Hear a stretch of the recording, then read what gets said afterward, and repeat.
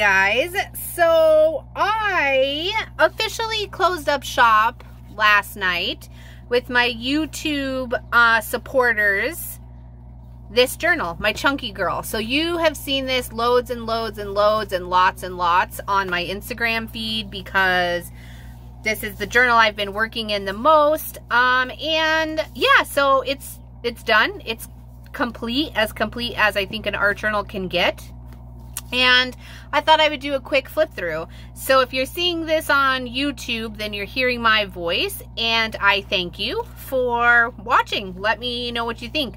I do, I did complete this entire thing via YouTube Live for my supporters, tiers $10 and up, and they have, they, if they've depending on how long they've been there, then they've seen this journal. So it has all kinds of things. Um, wax seals. That's what's right here in the front. I've done some stitching, machine stitching, hand stitching, lots and lots and lots of mixed media. So mark making and cuts and paste and um, gold foil, watercolor. Did I do watercolor? Not a lot of watercolor, maybe a tiny bit.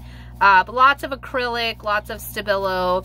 There are some tuck points. I touched base on some asemic writing and collage, and I've done some image transfers.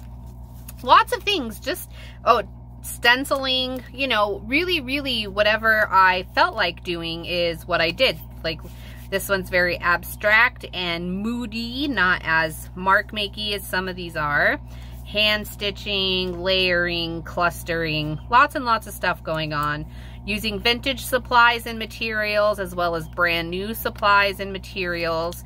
The construction of the book is based off my Bag of Bones workshop. That's just 17 bucks um, on my website, deedeecatron.com. And the Bag of Bones is this chipboard base book bones that come from my company Umwow Studio. And then lots of vintage text, vintage papers. This paper here is actually a reproduction. I designed this for 7 Dot Studio when I was designing paper for them. My washi tapes. Oh, some pieces from rust dyeing. I have a rust dyeing workshop.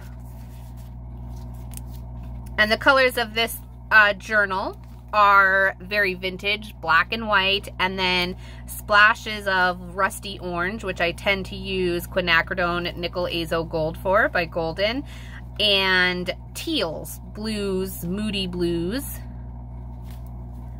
I use lots of vintage ephemera, different types of papers, ledger papers, music note, book text, did some Umwow Studio chipboard. I love how these pieces turned out. Just, and it's a journal. It, I worked each page just however I felt, and it's not a themed book necessarily, though the colors do keep it in a theme. And then tucked at the back is a mini journal. And it opens like this. And there's a little fold out. Really brings the colors of the journal sort of to a close there.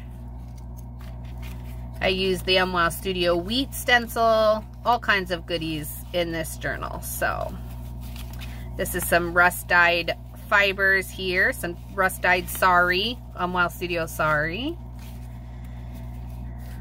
Liquitex gesso, lots of Stabilo Marks-All, Sharpie, uh, paint pen. Yeah.